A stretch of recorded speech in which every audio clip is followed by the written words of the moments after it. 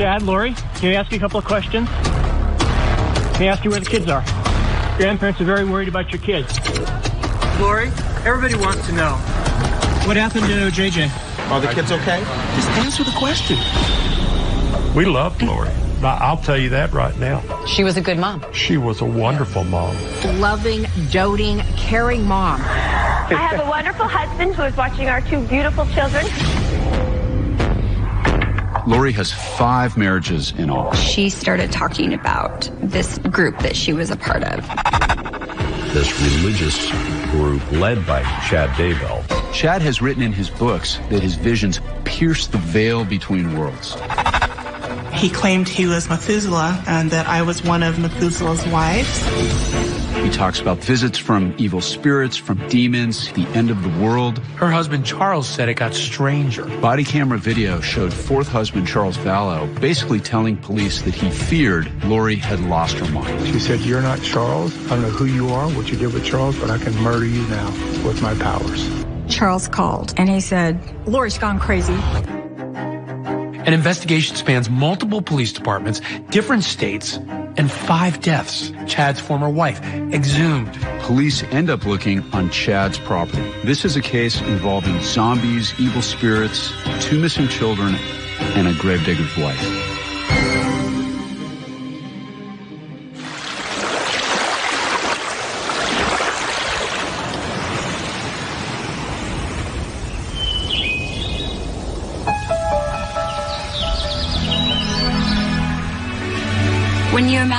What a tropical island would look like and what it would feel like, Kauai is exactly that. It's a pretty amazing place.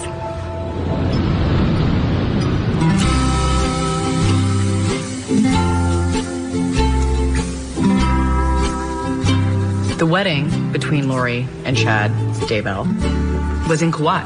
That's right. Were you invited? No, I don't think anybody was there except for the two of them whoever performed the services. The photos are great, but the one thing you notice about them is it's only the bride and groom. Seven year old son JJ is not there. Neither is 16 year old daughter Tylee. Not at the wedding, not in Hawaii, not staying with friends or family. JJ, say hi. Cops are looking high and low, but they can't find him anywhere. And yet, the wedding goes on. The story and what's happening at this wedding is incredibly dark. The urgent search for those missing Idaho siblings. Officials say the kids have not been seen since September. Good morning, Tom. This is really a mysterious one. The story goes national. Number one, because nobody's seen these kids in weeks. What really drives this story is that the mom is completely silent, which bothers people. It's very bizarre. Why wouldn't she just tell people where they are? Why keep it secret? Chad, Lori, can you tell me where your kids are? Would you tell me what happened to JJ? Can you tell me where Tylee is? Just to see her utter disregard, you know, for you know, people's questions. With Lori silent, we reached out to her family to see if they could shed any light on her behavior or the whereabouts of her kids. They agreed to sit down with us early on in the investigation.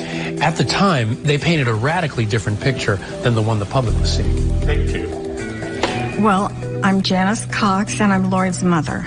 And I am very much appreciative of an opportunity to say what I know to be true about Lori. She's beautiful, she's sweet, she's kind, she's generous to a fault. Lori and Summer both took dance and they both ended up being cheerleaders. They both love sports. They both played on the softball team that I coached, our church softball team, for three years. Lori was the pitcher and would never let me take her out. It was really sad. She became a hairstylist because she loves help making people look more beautiful. But the most important thing to me is the kind of mother she is, the way she dedicated herself to her children. I realize that it looks bad, but I know Lori very well. And I know she would not harm her children or anyone's children. I know Lori, and I know Lori's done everything she can to protect her kids. When I first started talking to her, the first thing she said to me was, Mom, you know me. You know I'm taking care of my kids.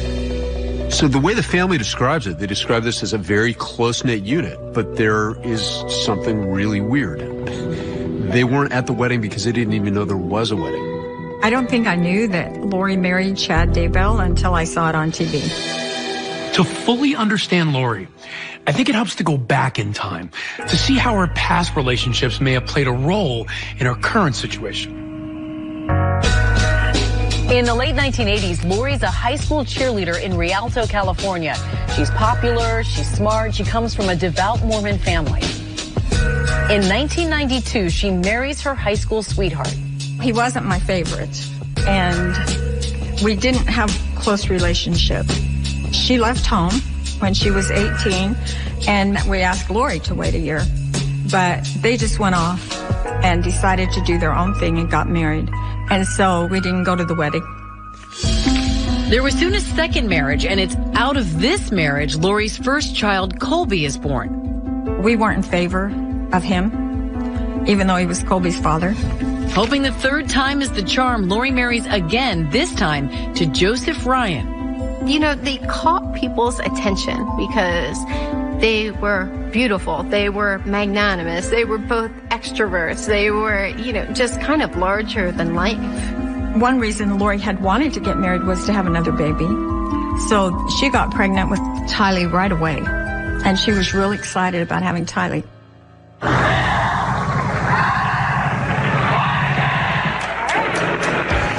It's during this time Lori makes an appearance on the game show Wheel of Fortune. Gopher, Doc, Isaac, and Captain Stubing. Yeah! And in that clip, Lori describes married life in glowing terms. I have a wonderful husband, Joseph, at home, who is watching our two beautiful children, Colby, who's seven, and Tylee, who is one. Yeah, what do you guys like to do for fun? Uh, We like to play all kinds of sports on our three acres. Okay, sounds like you have a nice life there. We do. Congratulations. Thank nice. you.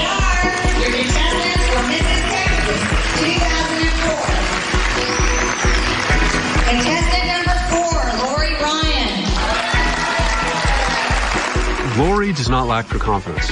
She was bold enough to get up on stage at a Texas beauty pageant. She is Mrs. Hays County.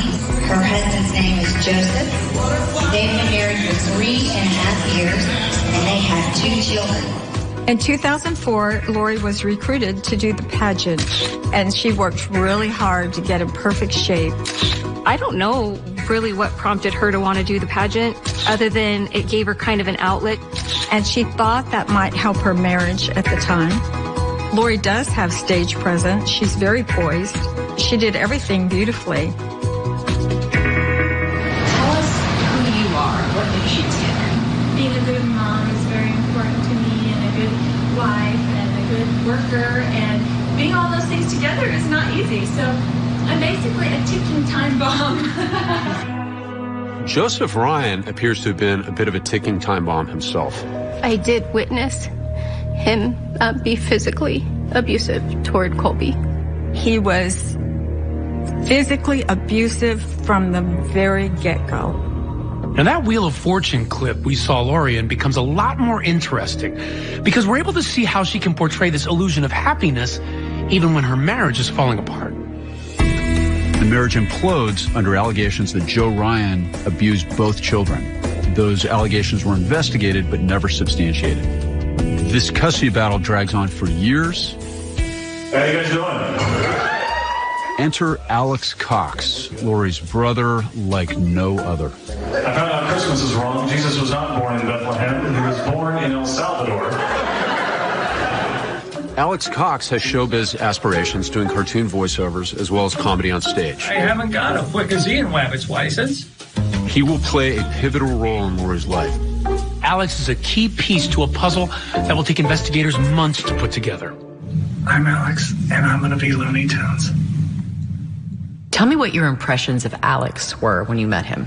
My impressions of Alex was that um, he was a little off and lacked social skills or just maybe didn't really connect with people. I think that's all.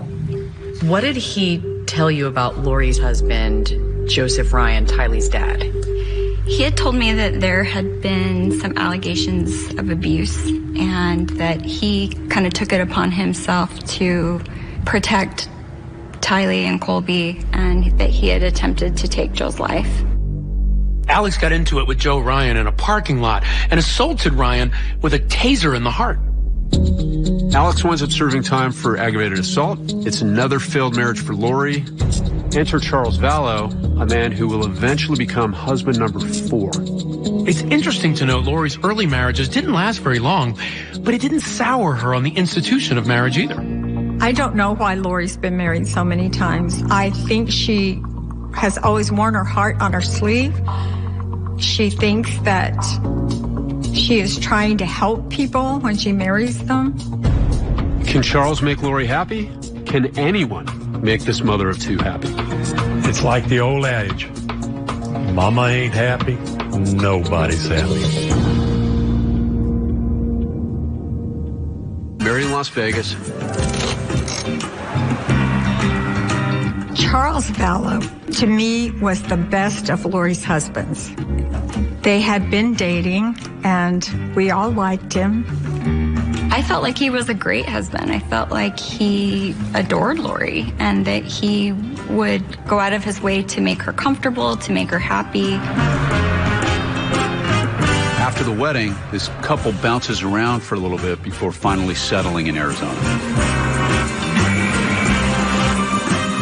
Charles and Lori came in, and I thought, well, those are the beautiful people.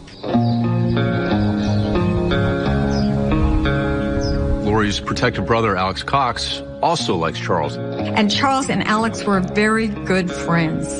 They laughed over everything together. Charles loved Alex, and Alex loved Charles. Charles was doing okay for himself professionally. He was a managing partner in a financial investment firm, and he was making $20,000 a month. Money was very important to him and he was very showy. The big cars, the big trips, the big houses, that was mainly Charles. Lori enjoyed those things, but to her, that wasn't as important as just having a happy family. Happy family. This is a family that blends Lori's daughter Tylee and their adopted son JJ under one roof. Tylee is the dearest, dearest little girl. You need someone to cuddle with, but you don't have a significant other? Worry no more. She has tough exterior, but she's got a marshmallow heart. How would you describe the relationship between Tylee and Lori? Lori was who Tylee really loved, and I think she looked up to her mom. Most everyone we speak with depict Lori as a loving, doting, caring mom who will do anything for her kids. JJ is my biological grandson via my son, and Charles is my brother. Charles and Lori adopted JJ, and they let us maintain the grandparents' role. We loved Lori. Now, I'll tell you that right now. I told everybody. She was a good mom. She was a wonderful mom. He was so fast. He was the fastest little kid I've ever seen. She was a great mom with a special needs child who she took on as her own. Yes. After they started seriously dating, she talked to him about our religion, the Church of Jesus Christ of Latter-day Saints. And she's been a member her whole life, and we all were. He ended up joining our church. What happens in this marriage is what happens in most marriages. There are good times and bad times. There are financial ups and downs. But for the better part of 14 years, the marriage really seemed to work until it began to unravel. She started talking about this new group that she was a part of. She would bring it up more and more often. And I could see that she was becoming more involved with it, and it was kind of becoming more of the focal point in her life. What she had mentioned was the name Chad Daybell. He's an author. He's a believer that the end of the world as we know it is coming soon. Daybell has written dozens of these post-apocalyptic, very dark books where he uses what he describes as fictional characters to describe real events, claiming that the future has been channeled through him. And this is the literature that Lori was reading So Lori had always been a fan of Chad's books. And so that's how I first heard about Chad from Lori was she would talk about this author that she was really interested in and really connected with his work. She just looked up to him. Right. Kind of like a inspired super by fan. him. A Yeah, super I fan. would describe her as a super fan. Husband Charles doesn't find it so super. In fact, soon accusations are flying that Lori and Chad are more than just friends. I know she did tell me one time that Charles was accusing her of having an affair. She said it like this. She said, he's accusing me of having an affair with Chad Daybell. Affair or not, Lori is certainly embracing Chad's teachings, as does Lori's brother Alex Cox. They go on a recruiting trip to spread the word. The word according to Chad. How did she and Alex describe this other thing they were becoming a part of? So what they basically said is that we are here to gather the 144,000 and you are one of them. Did she explain what the 144,000 was? I'm pretty familiar with Revelations and so I knew what she was referring to. These are the people that will be here at the second coming. It was just too far out there for me. It wasn't something that connected with me on any level. Is it fair to say that Lori had a fascination with death? I would say that's pretty accurate. I think even before she started to exhibit changes in her personality, that was something that was always very interesting to her. At any point when she's talking about all of this, are you thinking in your head, I need to distance myself from Lori? I did. I did feel that way. The Vallows marriage continues to spiral, only this time it's Lori throwing out the accusations. So apparently, when she discovered the evidence of this alleged affair, she canceled his return flight. He'd been away on a business trip. She and another friend took his truck that was waiting at the airport from the airport and hid it and took all of his clothes and just threw them away. She told you she took revenge on Charles. She did. Charles Vallow alleges his business bank account has been drained as well. And that's when cops get called in. Why don't you come over here? Police body camera video shows Charles basically telling police that his wife has lost her mind. She took all the money out of her bank account today. Wait, what did she say yesterday? She said, You're not Charles. I don't know who you are, what you did with Charles, but I can murder you now with my powers. So she's speaking as a spiritual being. Is she on any medications? No. No? She won't do medications. She's a, Has she been to a she's- doctor? No, She won't go to the doctor because she's a translated being and they would find out she's translated. She cannot be killed. She cannot die. And that's what she thinks? Yes. Lori tells you, I believe, that she is a translated being. Did she actually use that phrase with you? She had told me that she was a being that had lived on several worlds. Sounds like she's describing herself as a deity or godlike. Exactly. It was very much like a self deification, elevating herself above everybody else. So the next morning, Charles called real early in the morning. And I answered the phone and he said, Janice, Lori's crazy. She's gone crazy. Charles gets a court order to have Lori committed for a mandatory psych evaluation at a mental health facility. But a few hours later, she's discharged. Charles is desperately trying to get the Cox family to see that something is not right with Lori. When this situation doesn't improve, he takes his problems to an attorney. You know, I've been a divorce attorney for 30 years, but I've never had anybody that came in that was this specific that said, I'm afraid I'm going to be murdered, and this is who's going to do it, and here's why it's going to happen. Charles makes that same claim in his divorce filing and also reports it to police. He told me that Lori told him that she was going to have him killed, that he was in the way, and that she had an angel that would dispose of his body after that took place. And Charles was very adamant with me that he wanted to make sure that I let everybody know that if he was killed, Chandler Police Department! that it was Lori who did it. It wasn't that long ago that the Vallows were deeply in love. After a brief but failed attempt to reconcile, Charles now has two problems. Number one, Lori doesn't love him anymore, and number two, neither does brother Alex. What is the emergency? Uh, I, I shot my brother-in-law. The reason Charles Vallow goes to the house that day to his estranged wife's home is to pick up his son JJ to take him to school. Now, Alex Cox was there supposedly to make sure this handoff went smoothly. It did not go smoothly. Was he armed also, or just? Yeah, he, he came at me with a bat. Anyone been drinking or doing drugs or anything today or no? I I don't know, but I've never seen him that enraged before. Okay, what part of his body is injured? In the chest, Okay, is he awake and responsive or unconscious? unconscious. The 911 operator instructs Alex Cox how to do CPR. Make sure you're still pressing down at least two inches into his chest and it comes up with each compression. One, two, three, And you hear this heavy breathing on the phone. five, six, seven, eight, nine, ten.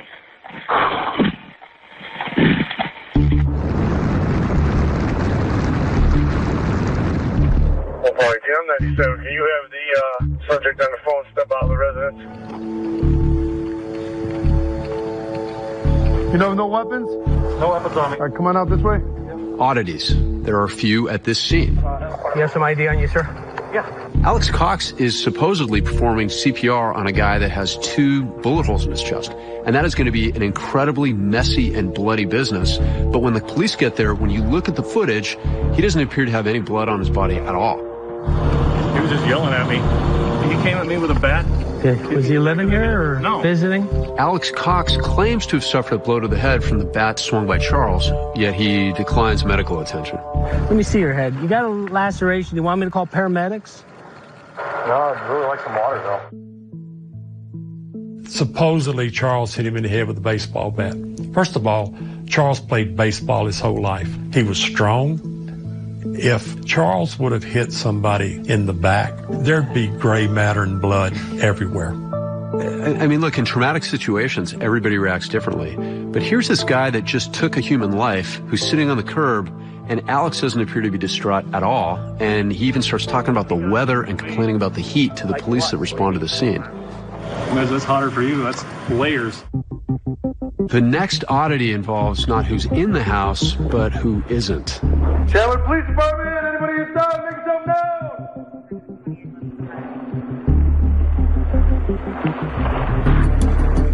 Uh, no, I think she's uh, taking her son to school. Alex says it's only been five minutes since the shooting, but he's already alone at the house, which means Lori and daughter Tylee, the only two other witnesses to this, have already left, which means they left almost immediately after the shooting, which is weird. So, wife who lives here, her daughter, her son, they all leave. I was a little bit surprised that they had left and come back. The decision to prioritize taking JJ to school rather than wait for the police to come as your husband is dying on the floor becomes even more bizarre when they stop at Burger King to get JJ food. Chicken fries and a Sprite, because that's what he ate every morning. Because that's the routine and that's what he likes. And she took him to school and then they came back. Hi, who are, are you? Okay, just stand over there for just a second, guys. Mother and daughter are also very composed when they arrive back at the scene. Do you have a driver's license with you? I can just grab it. There wasn't any huge outwardly signs of like emotional distress. There wasn't tears. There wasn't anything like that. They seemed pretty put together. Hi, neighbor. Sorry. Lori and Tylee are taken to the police station to give their statements. Alex is driven separately to provide his. No handles on the inside? Yeah, no, that's how those police cars are, you know? When detectives are finally able to sit all involved down at the police station, uh, this trio outlines the story of self-defense. that morning and that Charles came over and took JJ out to the car ready to go to school. According to Lori, this squabble begins over a cell phone. Charles gets outside and realizes that he's left his iPhone inside the house, so he goes back in to retrieve it. Charles's cell phone was on the kitchen counter, so she had retrieved the phone, and that's where the argument ensued. She describes him as being extremely angry, never seeing him like that, and that she's now wanting to know what's on the phone that he doesn't want her to see. Tylee came from the bedroom with a bat and basically circled around them and is standing next to mom. Alex says that Charles ripped the bat out of her hand. He said that he saw Charles basically go forward towards Lori and Tylee, and that's when he grabbed him from behind and they basically pulled him back and they ended up on the ground. So after the altercation, he basically says he goes to his room where he gets his gun. Lori explains that there's a tussle between the two of them, and Tylee describes that as well. Neither of them really remain in there. They both kind of evacuate out during kind of this physical exchange between Charles and Alex. Lori directs Tylee basically out because JJ's outside. He tells Charles to drop the bat. Charles basically says, What are you going to do? And he said Charles just kept coming with the bat. Alex says he shot him in self defense. And he said, I didn't have any other choice. That's what he told me. I said, How are you feeling? He said, Mom, I feel terrible, but I'd do anything to protect Lori and Tylee. Charles had never been violent with anybody, so you kind of start getting a bigger picture of this just doesn't feel right. Both of us have driven people home after interviews, and this would be at the top of bizarre for me, the whole car ride. The odd part about it was just the the complete lack of emotion. It was a very nonchalant. Um, Lori had a big smile on her face. The case like this isn't a sprint, it's a marathon. The case is just beginning. In a word, detectives find all of this odd, but odd is not a felony. Now, being weird and not making sense is going to make the investigation continue. But they better hurry because Lori is off to Idaho to land husband number five.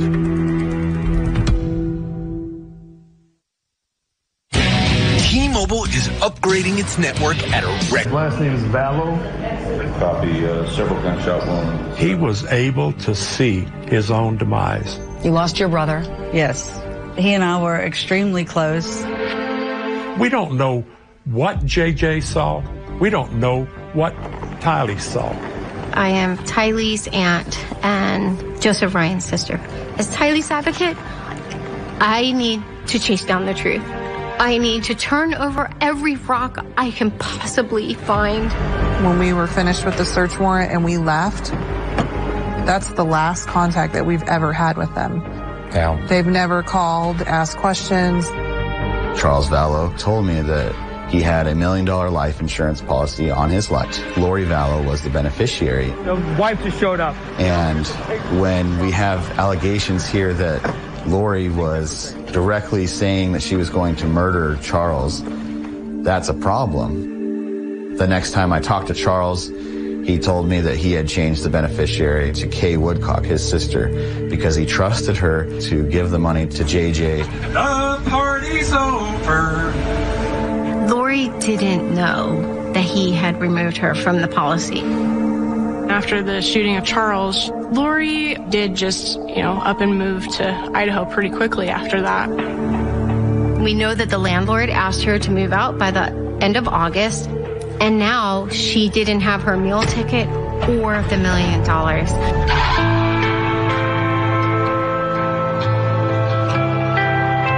And they moved to the promised land of Rexburg, Idaho, in the company of Mr. Chad Daybell. Rexburg has always been a strong, faith-built community. Very trusting, where neighbors love each other. The Church of Jesus Christ of Latter-day Saints is very large in this area. And Rexburg is once again one of the safest communities in Idaho. If Lori had designs on Chad, things are about to get really interesting when she moves to Rexburg because Chad is married to someone else. Facebook photos show Chad and Tammy as a happy couple. Chad and Tammy moved here about five or six years ago with their family. In his memoir, Living on the Edge of Heaven, Chad Daybell describes being called to Rexburg.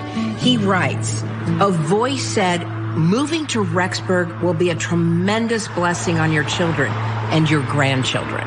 What I remember of them is a perfect couple. Good mom, good dad, good kids. Tammy is a real spitfire, though. She had a mind of her own, and she was not one that was easily walked on. Chad Daybell and I served as missionaries for the LDS Church back in the late 80s. Chad was the most humble missionary that I ever knew. Well, Lori and Chad have been known to attend LDS services. Chad has also written books and lectured on his own personal beliefs, which are distinct from LDS theology. Chad was the author of these doomsday books that had a peculiar prophecy about the end of the world and how people should prepare for that. His books are all about the end of times and dying. His visions deal with dying. When Chad lived in Springville, Utah, he was a grave digger. Chad was the cemetery sexton before he resigned. A few years ago, Chad wrote his autobiography, and it gives you a glimpse of the way this guy thinks and what he believes. In his memoir, Chad Daybell writes, I don't fictionalize any of the events portrayed. My torn veil allows information to be downloaded into my brain from the other side. The scenes I am shown are real events that will happen. He was gathering people to Rexburg. They were moving there because Chad Daybell said, this is where you need to be. We don't yet know the full size of this group, but what we do know is that at the very least, Lori Vallow and her family relocated to this area. At first, everything in Idaho seemed to be going smoothly for Lori, Tylee, and JJ. JJ, already making new friends, is seen playing outside on a neighbor's doorbell camera. They played every day almost until he said he was moving to his grandmother's. There was three FaceTimes after Charles's murder, the last one being 35 seconds. He said a couple of things and then it, you could see his eyes look up and he was looking at somebody. He's looking at something else, Not and he goes, directly. "I gotta go, I gotta go, bye," and then and then boom, it was just that fast, was gone, and that that's the last time we saw him or heard from him or heard. You were in communication with police and investigators because you wanted to find Daily. Oh, JJ and Tylee. Yes. In September, I believe we learned that they moved to Idaho, but I still didn't have an apartment number. She and Chad together, they just feed off of each other. They were actively preparing for the end that was inevitably coming very soon. And what was she doing, according to her, to prepare for that? Storing medical supplies, storing food, water, all the things that you would need if you weren't able to access them for whatever reason. So she planned on surviving the end of the world. Yes, because she was one of the 144,000. Their mission right now is to gather the 144,000 that will be left here on Earth after the doomsday being July 2020. Do I see him as drawing people to him? Yes. Chad's message is what draws people to him. That Jesus is coming again and that we need to prepare. I'm an author and podcaster. Chad Daybell published my first five books. Chad Daybell did try to say that we'd been married before. He claimed he was Methuselah and that I was one of seven of Methuselah's wives. And he named some other women. Did she ever mention that her kids were among the 144,000? She never said one way or another about the kids. Within seven days of Lori moving to Rexburg, she takes a trip to Yellowstone Park with Tylee, JJ, and her brother Alex.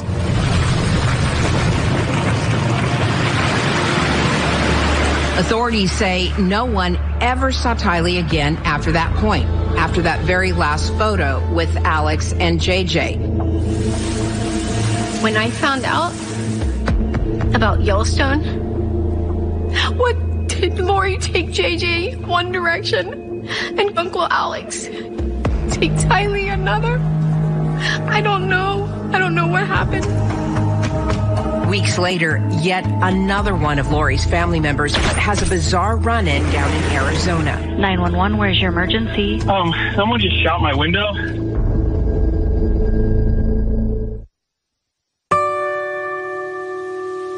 Alex's curious connection to all this, and you've got a lot of drama, especially when police are called in to investigate a 911 call involving yet another family member.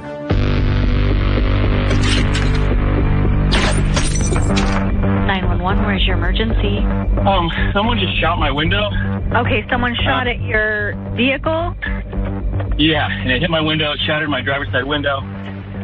Sorry, I'm a little out of breath. They just. And what is your name? My name's Brandon Boudreau. Brandon Boudreau was married to Lori's niece Melanie when that shot rang out. Private Eye, Rich Robertson, is hired to help sort out the mystery. Brandon called me and seemed to be kind of in a panic. He was obviously agitated uh, and he just started spewing out all this information about being the target of a shooting and just a crazy story. I wasn't sure what to make of it.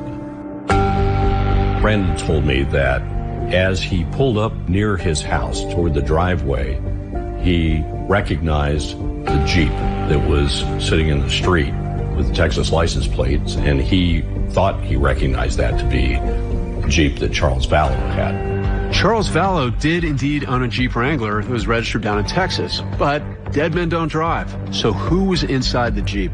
As he approached, he saw what he believed was Alex Cox reach out the back of that Jeep, the window where the tire had been removed, and shot at his car. Alex Cox, as in Lori's brother, a man who's already shot one, assaulted another. Could this guy be a drive-by shooter as well? It struck the frame on the window on the driver's side just over his head. As soon as that hit his car, he just accelerated and got past the Jeep to try to get away from it. Alex just is straight up and admits to anything. He's just a man of truth. And I remember having that uncomfortable, you know, question that I go to him with, of, you know, did you take a shot at Brandon? And he, he said, no. He joked about it. He's a comedian. And he said, Melanie, me in a recognizable car with, you know, right across the street, eh, I'm a great shot. It didn't add up. One thing Alex was not was a liar. Alex was very honest, and Alex would always say if you called him on something or asked him if he did something, he immediately owned up to everything he did wrong. Police say there's no denying that a bullet was in fact lodged in Brandon's vehicle. But why would anyone want to kill him? In court filings, Brandon says he can think of a million reasons. Brandon believed that if there was a motive to kill him, it would have been for a million dollar life insurance policy that he had, which Melanie would have been the beneficiary. It's just not true. It's just a fight of trying to make me look bad and accuse me of things I haven't done. Police haven't announced one way or the other who was the shooter that night. And Melanie denies having anything to do with the shooting and has not been charged. Brandon knows me and knows I wouldn't do that. It did start out for me as a very specific kind of assignment to find two people and a vehicle. And then realized what I was seeing was this small group of people in Arizona start moving to Idaho. And in Idaho, there will be another spouse on the wrong end of a gun. And a fateful call between Lori and Chad. You know, glasses phone. Yeah.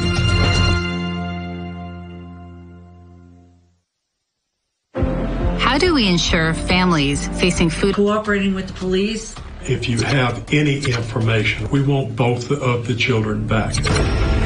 It relates to the beliefs that Lori and Chad hold as part of this new church called the Church of the Firstborn. According to police, Chad and Lori had spoken to others about dark spirits, even zombies, and what seems a bizarre mission. Their mission is to rid the world of zombies. Police are in the process of re-examining everyone and everything with a connection to Chad. Our crews here at the cemetery were here at 6, 6.30 in the morning. Even exhuming Chad's dead wife. The whole country became obsessed with this case. Where were JJ and Tylee? We all wanted to talk to Chad and Lori. He asked you where the kids are. Are the kids okay? No comment. It's a simple question. Just answer the question. Looking on Chad's property. What did they find? They gridded off these areas and they started peeling away layers. Are you okay? They're searching the property. And we all know what that search would reveal. Who was responsible? One morning you're going to wake up and say, oh my God, what have I done?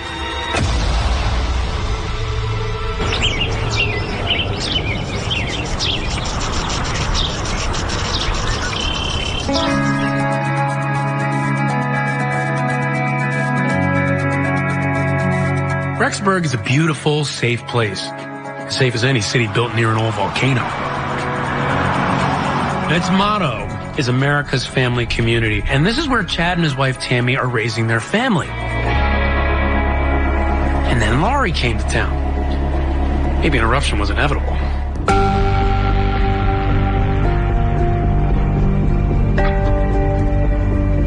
Chad's wife, Tammy Daybell, returns home after a long day at work, and this 49 year old librarian is taking stuff out of the back of the car when trouble comes up from behind. Tammy would later post on her Facebook page a guy with a ski mask was suddenly standing by the back of my car with a paintball gun. He shot at me several times, although I don't think it was loaded. I yelled for Chad and he ran off around the back of my house. I have no idea what his motive was, and we never spoke even after I asked him several times what he thought he was doing.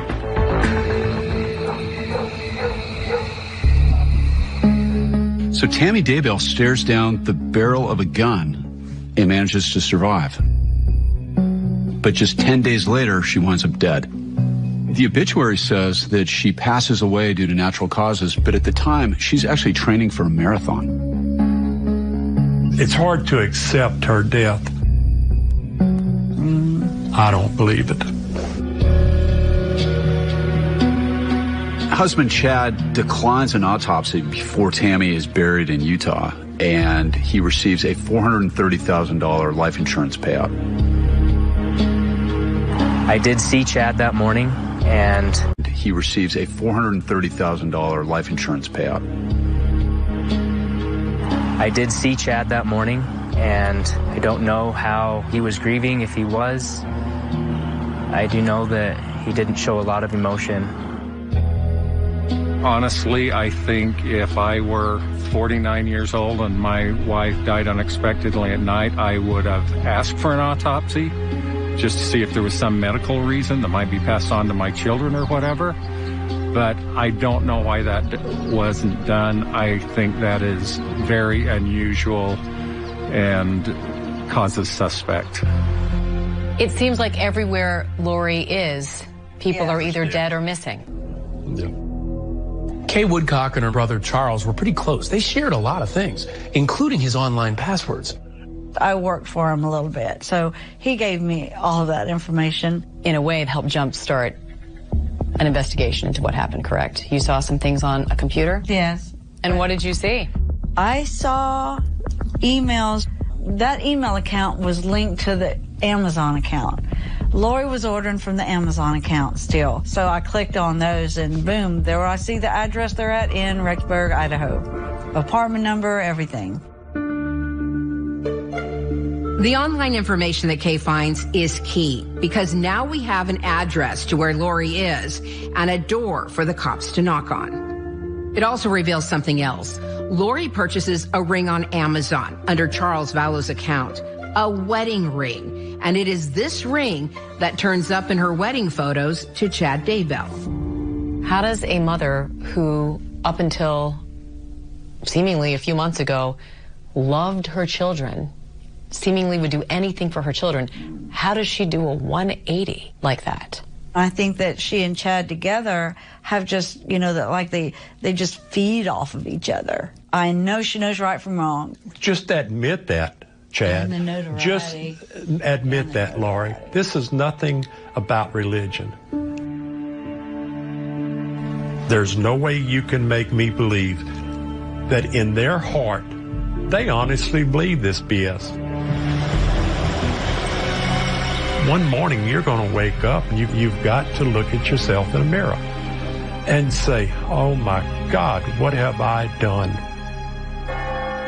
That day is coming sooner than Lori and Chad know.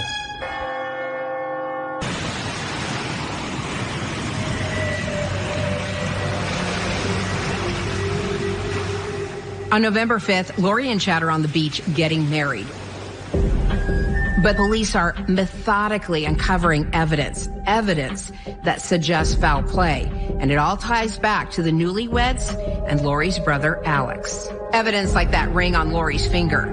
You see, the receipt from Amazon shows that it was purchased before Chad Daybell's wife Tammy's death.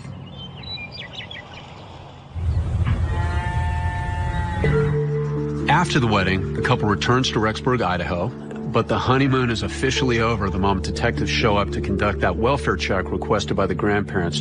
And that's when things really started getting weird. Detectives speak to Lori's brother Alex and Chad. According to police, even though Chad had just married Lori, he acted like he didn't know her very well. I asked Mr. Daybell for Lori Vallow's phone number and he stated he didn't have it. I found it suspicious because I knew that they were married two weeks prior to my contact with Mr. Daybell. Brother Alex says JJ is fine and with grandparents in Louisiana. Of course, that is a lie. I told Mr. Cox that was unlikely because uh, Kay was the one who originally called in the welfare check. This shell game being played by Lori, Chad, and Alex is designed to distract and deceive.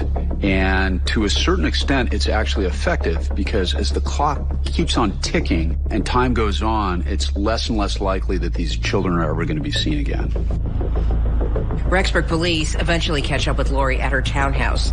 And when she's talking with them, she allegedly lies, telling them that JJ is with her friend Melanie Gibb, when in actuality, Melanie Gibb has no idea where JJ is. According to Rexburg police, once they leave, Lori doubles back and calls Melanie Gibb. And she tells her, hey, Rexburg police is about to call you. I need you to tell them that JJ is with you. This really confuses Melanie. She's put on the spot. Melanie does tell police JJ was never with her. With police closing in, Chad and Lori take off the very next day and they head back to Hawaii. Alex, on the other hand, goes in a completely different direction. He decides now would be a great time to attend a wedding, his own. He picks up his girlfriend, Zulema, and they head off together to Las Vegas.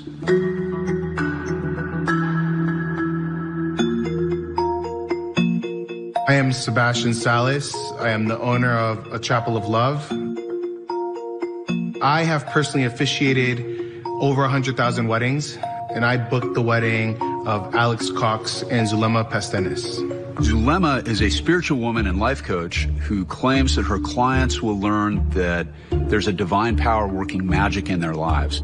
Zulema was the one that coordinated and paid for everything. It was all Zulema. At the chapel, Alex demonstrates a little bit of magic himself, making his last name disappear and taking on the last name of his new bride. Alex took Zulema's last name. It was, uh, it was pretty funny. I'm not gonna lie. I have never seen that. That was the first time I'd ever seen a groom take the bride's last name. This is an amateurish attempt by this guy to get the police off his trail, essentially. He's adopting the name of somebody else because it's going to be tougher for the police to track him down. So in his mind, what he's doing is he is, he's erasing his tracks. This ceremony was about as romantic as a trip to the DMV. Ceremony lasted about three and a half minutes. Alex was quiet, wasn't very involved in the process, and Alex wasn't too eager to add anything onto his package, like flowers for his bride or even have a picture taken of his wedding. I just wanted to uh, simple, short and sweet, get married and be out of here. The couple returns to Arizona where the newly minted Alex Pastenes begins his new life. Meanwhile, Chad and Lori are secluded in Hawaii when they get a call from their friend Melanie Gibb. Now, Melanie has questions and Melanie wants answers. So she comes up with this idea to call Lori and record her and get her to admit that she asked Melanie Gibb to lie. The audio from that phone call is later released by authorities.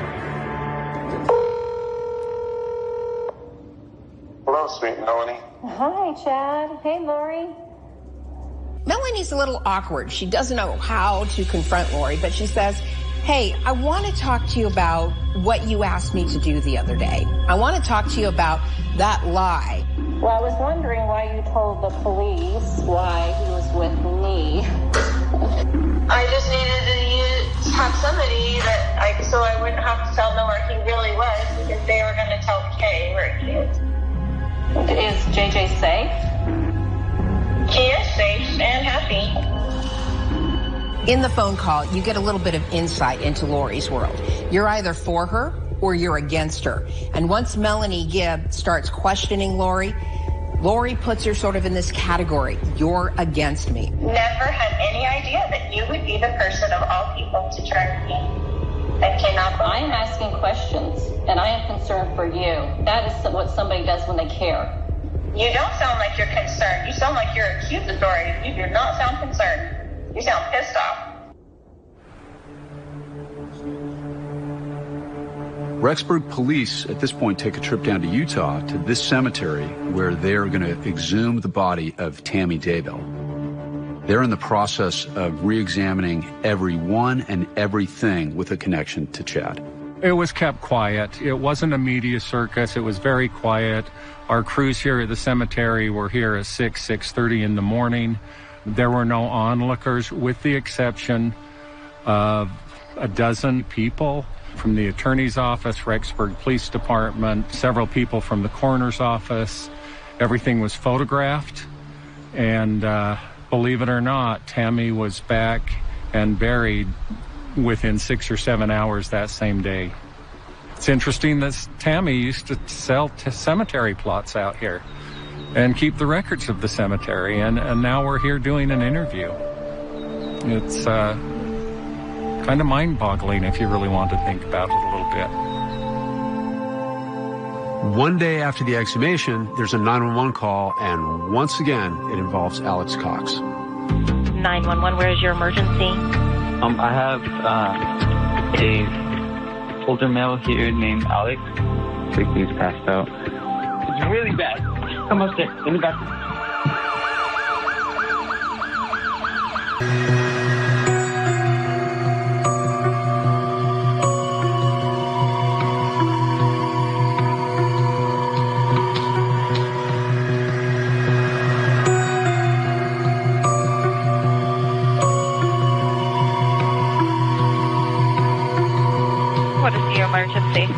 Um, I have a older male here named Alex. He's uh, he just passed out here on the on my on my bathroom. Till death do us part came a little earlier than expected, and just two weeks after getting married, Alex Cox collapses in the upstairs bathroom of his new bride's home. Zulema's 25-year-old son, Joseph, calls 911. Is he awake right now? I think he's passed out. Okay, you think he's unconscious? Yes. And now the tables are turned. Instead of Alex dialing 911, a 911 phone call is actually being placed about him. Yo, Alex. Alex. He's not, he's not breathing. Zulema's son is seemingly unaware that Alex is now his stepfather. Do you know him? No, it's my mother's boyfriend. And he doesn't even know Alex's last name. Alex's last name. I don't know. You don't know his name? No. Five minutes into the call, Zulema arrives home. And Joseph starts to tell her what happened. It's really bad. Come upstairs, in the bathroom.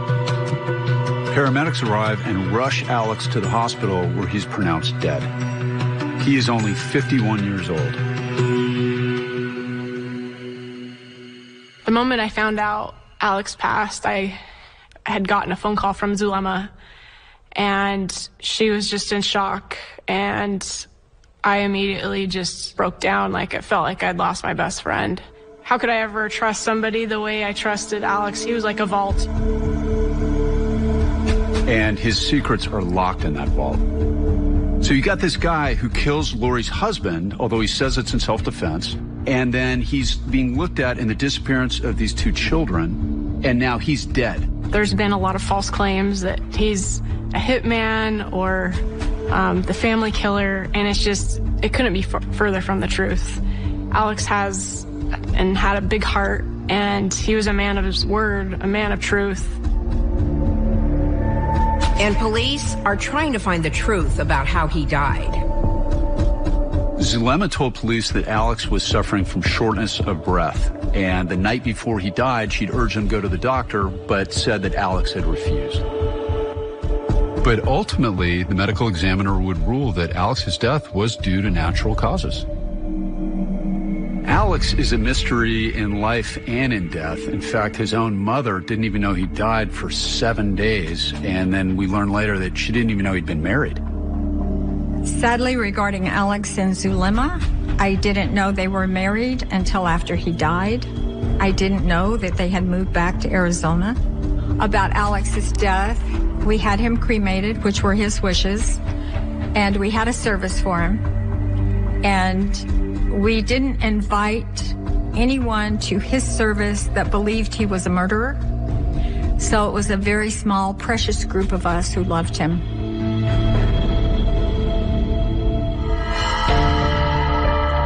On December 20th, 2019, Rexburg police and the FBI issue a press release announcing that JJ and Tylee are missing endangered children. And that is when the story goes national.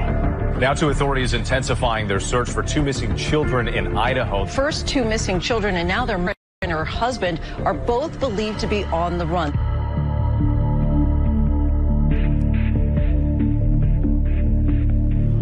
Give me another one, JJ.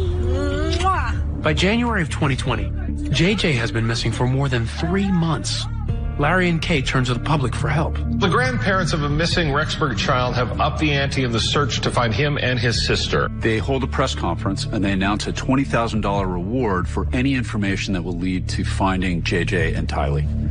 If you have any information whatsoever, please call the authorities. We want Lori to please start cooperating with the police.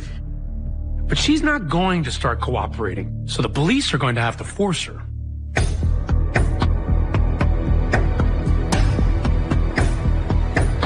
The new developments involving missing siblings from Idaho, their mother, but not the children, has been found by authorities in Hawaii.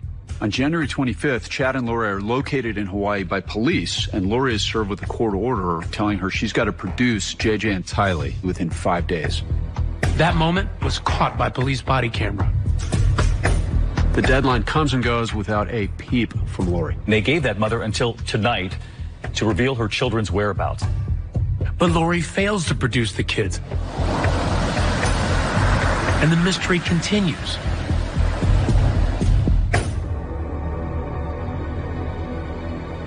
Larry and Kay head to Rexburg, Idaho. JJ's last known address. Come on, Kay. Let's just walk down. I can see him running around here. I know how he is. If that door would open and, and he would holler, Pawpaw, I think I'd die of a heart attack.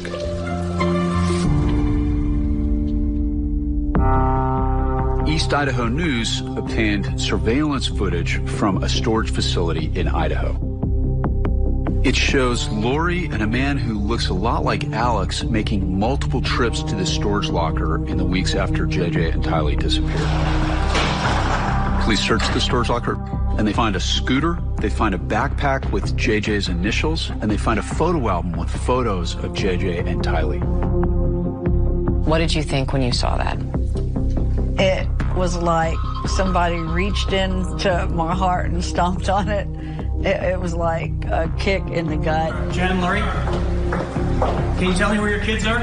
Lori and Chad go on with their lives. Our producer spotted them on their way to church services. Would you tell me what happened to JJ? You know the grandparents are very worried. The couple doesn't seem too concerned about the outrage that they're enjoying life in paradise while Lori's kids are missing. Lori, Tell us where your kids are. Everybody wants to know.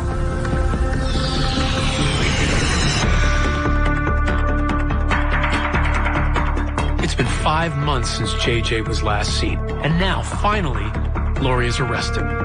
Kauai police say they have arrested Lori Vallow on an Idaho warrant. Lori Vallow was taken into custody without any incident by detectives of the Kauai Police Department. Lori is charged with two felony counts of desertion and non-support of dependent children. And she is held on $5 million bond. Hi, My name is Marcus Moore with ABC News. A few days later, after Lori's arrest, ABC News correspondent Marcus Moore tracked Chad down.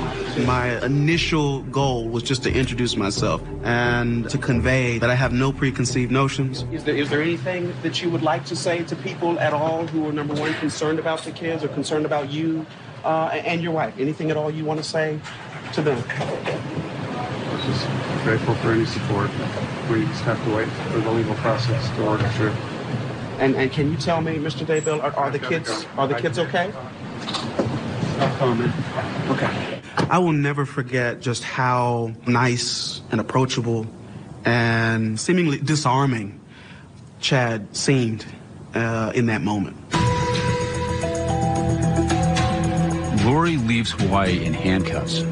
She's extradited back to Idaho, where she and Chad reunite in a packed courtroom. All right.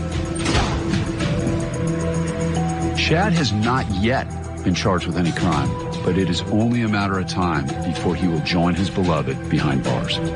Police will tell you that when Alex Cox died, a lot of secrets died with him, except one.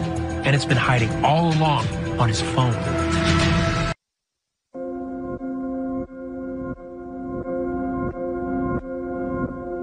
We've been covering this story for so long, and throughout every iteration, the question always remained the same. Where are the kids? I think for the public, they wondered why were Lori and Chad allowed to walk free for so long? And now we finally understand why. Investigators needed time. When you look at the affidavit, you see how much work they put into this to try to piece it all together. Is that standard to let people go about their business while the investigation's underway, even if they think murders took place? Yes. And mainly they let that happen because they'll make mistakes typically along the way. They'll make phone calls. They'll go bury something. They'll get rid of a piece of, of evidence. Investigators were able to put together a timeline of sorts. So give us a sense of what law enforcement now believes happened so what happened is that local law enforcement got the FBI involved, and, and, rightly so. They bring a lot of support to a case. And there is a team of, a unit in the FBI called the Cellular Analysis Survey Team. Now, what that is, is that they are very good at precisely marking where your phone has popped up. And it's actually so good that they can put it roughly about 20 feet from where you are. So it's, it's really cool stuff. And so that cell phone location allows for police to really put the pieces of the puzzle together. You can place Alex in Lori's apartment at wee hours in the morning. And then the next thing you know, a few hours later, Alex's phone pings behind Chad's house.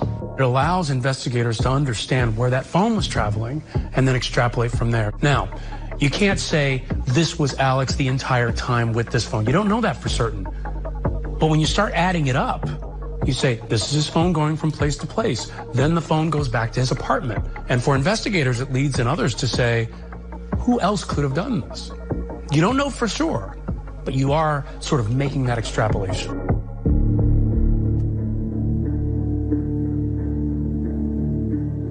Tylee, the last she's seen is on September 8th. She disappears. Alex goes over to the apartment early morning hours of September 9th. This evidence is fascinating because it's the only time that Alex's phone is at any period in time in Lori's apartment between the hours of midnight and 6 a.m. Then at about 9.30, the phone pings from Chad's property towards the East End.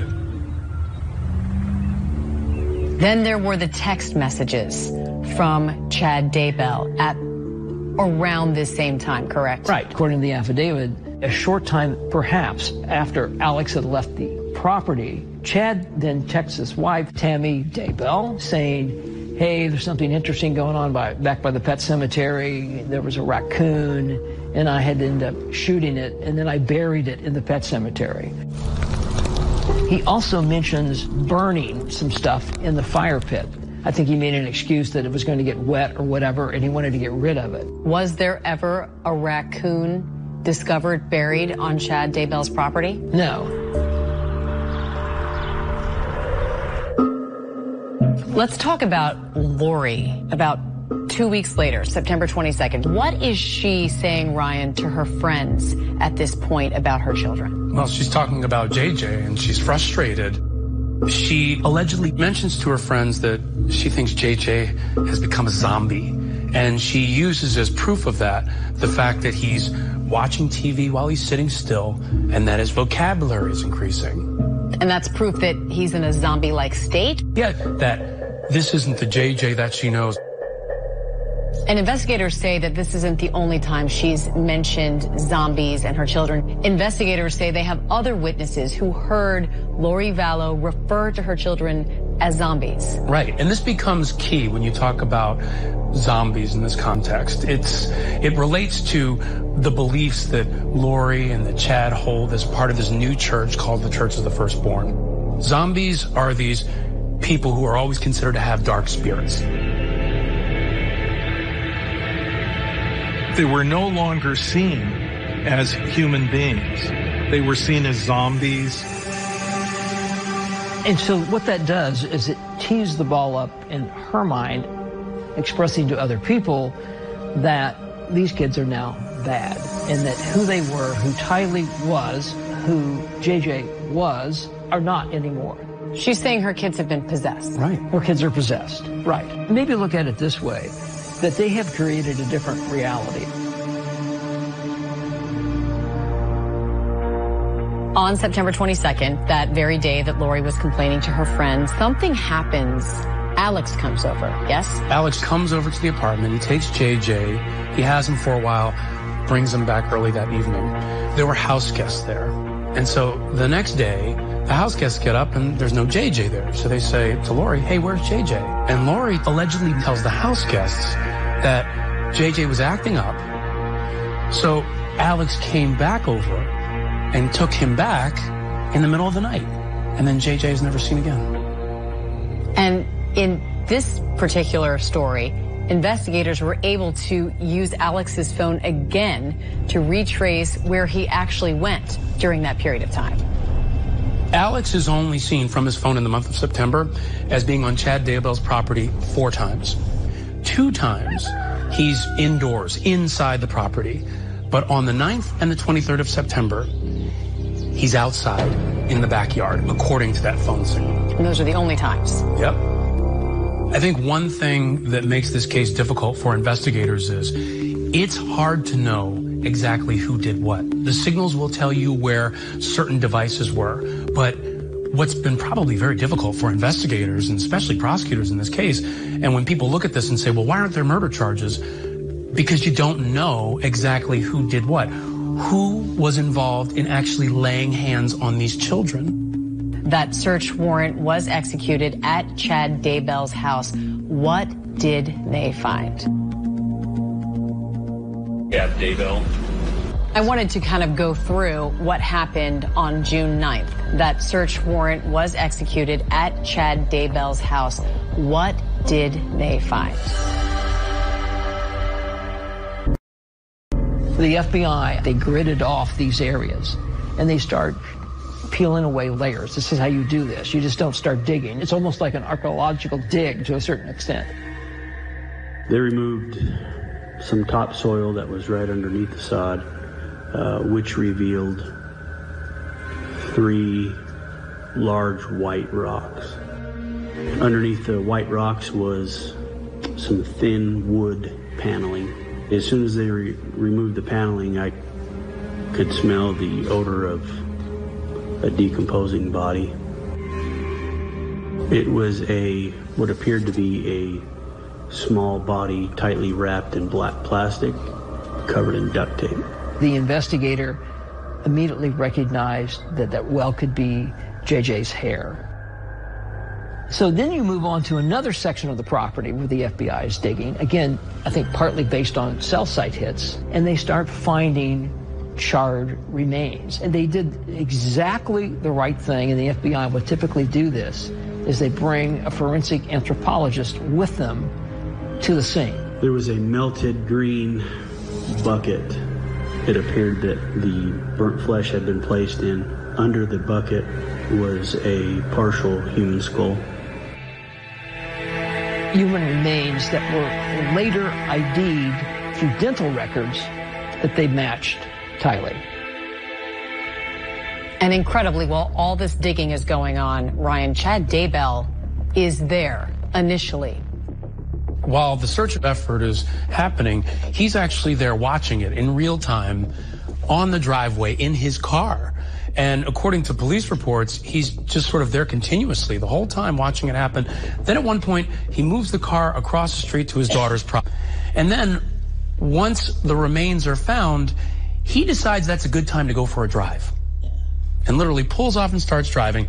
Obviously, police think otherwise, and they pull him over and arrest him. But when you think about that, this is all happening in real time, and he is sitting there watching it happen and then leaves as the remains are found. You have to think those investigators were like, well, two and two equals four here. We know why he's leaving. I don't think he has any emotional connection at all what they were doing in the backyard. I think he's thinking, I'm in trouble. I got to get out of here. I got to run. I got to do something. I feel remorse. I feel emotion. Nothing. Yeah, but antisocial personalities don't think through all that because they don't have any guilt. You know, it's like he thinks he's slick. And that basically, okay, you found these bodies here. Now prove that I killed them. And that's, you know, that's, that is where we are at this point.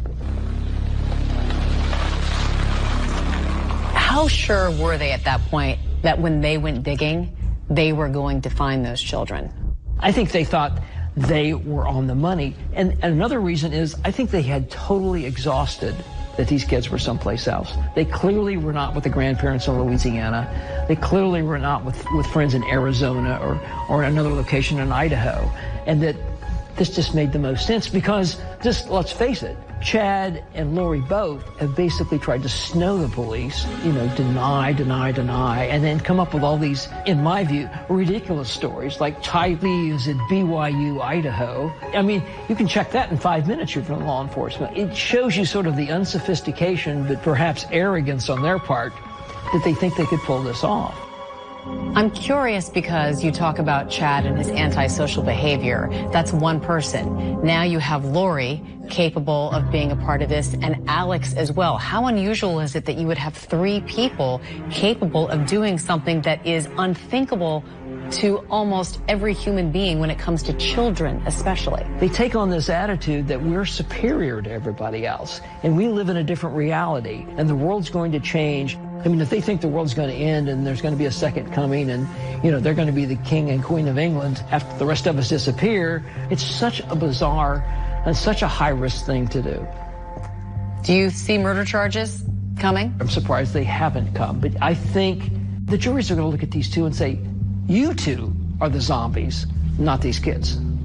The only issue I have with that is prosecutors bring cases that they think in good faith that they can prove. So even if everything looks like a murder charge, they're not going to bring it unless they think they can prove it. The biggest mystery in this case is who did it? If you believe that one of these three people killed these children, who killed which child? How did they actually do it? So if you have Chad and Lori right there, will you be able to prove to the jury that Chad definitively killed Tylee? Not Lori, not Alex. Did Chad do it? Or did Lori do it?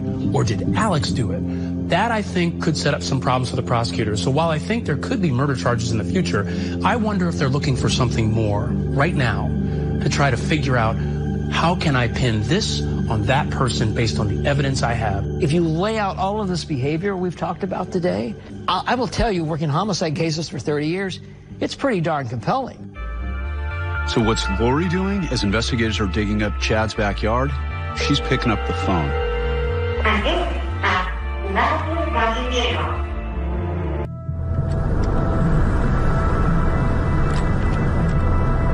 It was a year ago this month when ABC News went to Idaho with JJ's grandparents. Larry and Kay pull up in front of Chad's house. You see all this open space? What if JJ's right over there? And that actually turned out to be a premonition. Larry was right. That was almost exactly where his grandson's body would be found almost four months later. So as the police and the FBI are digging up Chad's property, guess who calls Chad from jail? It's Lori.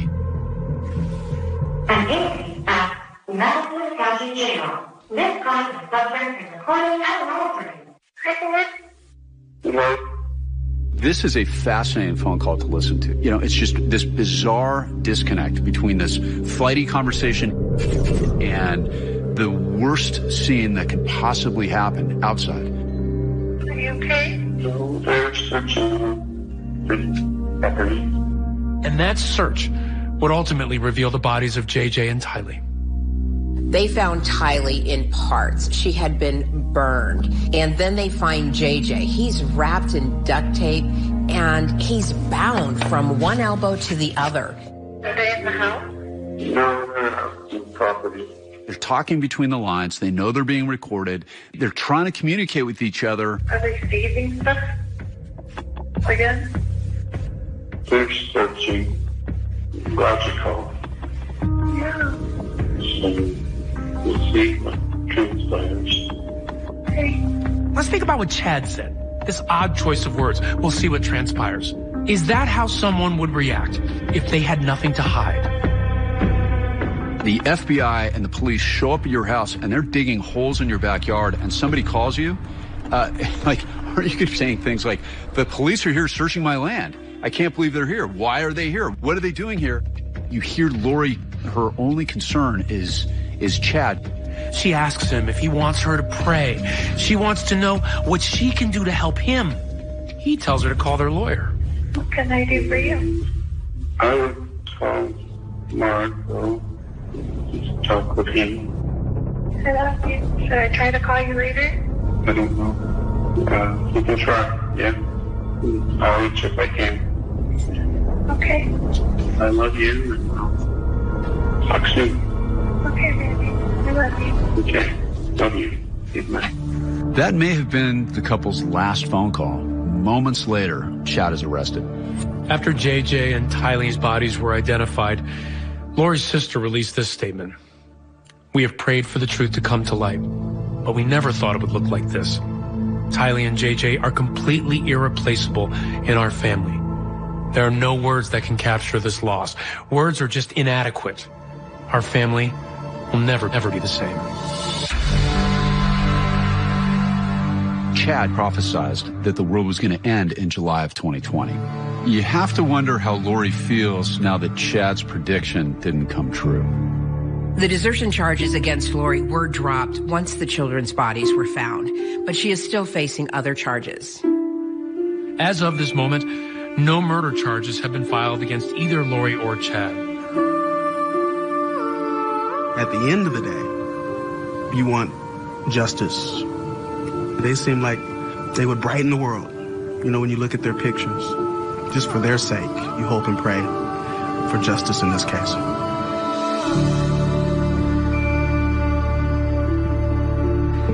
We should note that Lori and Chad Daybell are now scheduled to face a jury in July. Two felony charges allege that they worked to destroy and conceal evidence. Both have pleaded not guilty. And Lori Daybell also pled not guilty to contempt of court charges for not producing her children or revealing where they were. And that is the heart of this story. Those two children, JJ and Tylee. And I know you're going to stay on this, Amy. And that is 2020 for tonight. From all of us here at ABC News, thanks for watching.